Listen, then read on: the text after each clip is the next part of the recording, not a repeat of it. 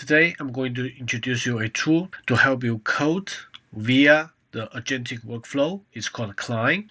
And I'm going to also introduce you the OpenRouter where you can connect the tool to some free source large language model API. Here you can see Cline in the extension uh, marketplace. So basically, using Cline, you can choose different model providers and use their corresponding API keys. For example, you can also use LM Studio and Ollama to link with your local hosted models. And here I'm going to use OpenRouter. Usually the first time when you um, choose this option, it will jump to the OpenRouter.ai and it will give you this uh, API key. If you prefer to use free models directory, you can also do that.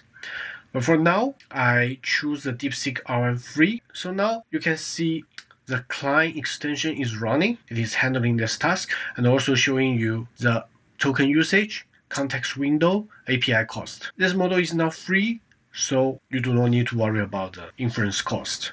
So you can see here, the model starts to reason the speed is not so bad. I mean, as a free tier API, the speed is very acceptable. So now I'm going to ask the model to stop, okay, because it is already successful. I wish you like this video. Please don't forget to like it, leave a comment. If you have any doubt, don't forget to subscribe to my channel and see you next time. Bye bye.